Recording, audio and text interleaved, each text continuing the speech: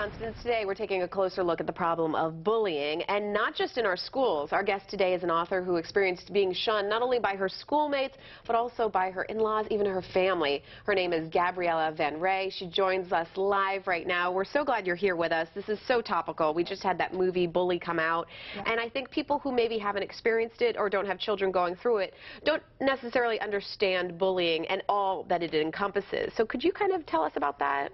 Bullying is an extreme form of meanness, uh, what I think, and the individual gets so isolated and picked upon actually for their uniqueness, which most children, of course, don't understand. Mm -hmm. But because you get isolated, I think the, uh, the norm today is that it's day after day, it continues into cyberbullying, and then it becomes even worse because it's 24 hours a day. And that child cannot live a normal life anymore. I know you would think with our melting pot in this world that we're all so different, but social media has really kind of taken this, it's good and bad. It's, it's made us aware of the bullying, but it's also taking bullying to a new level.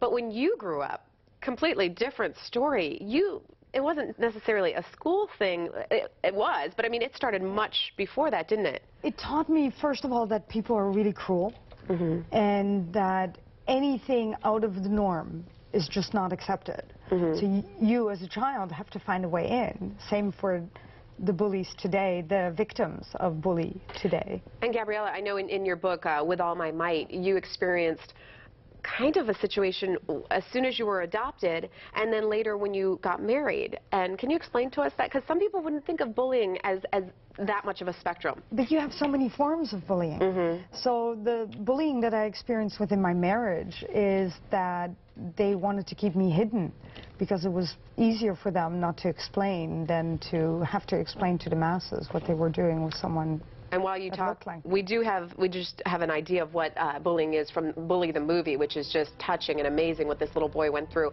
But you're saying at three years old, even even younger, that's when you kind of really started understanding what human beings were capable of. Totally.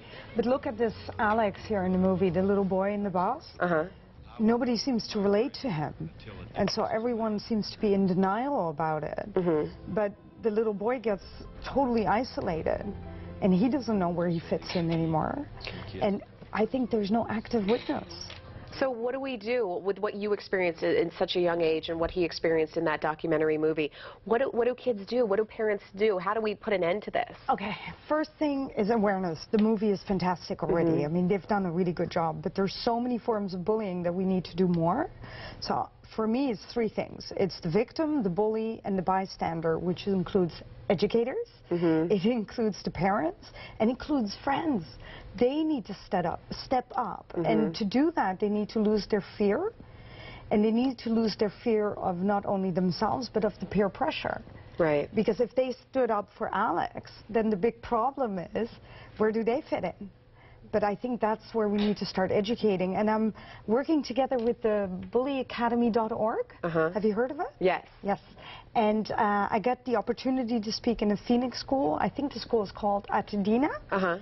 And uh, I think when we have People companies like this making software together with schools, we'll get it. Okay, all right. Well, the book is called With All My Might, and it's a, just a wonderful read of your history and your story, and we're really hoping that everybody starts to show more of a humanity and beat this bullying problem, and thank you for taking a step you. with your book. So, uh, Gabriella van Rij here with us today, and now we'll send it back over to Constance.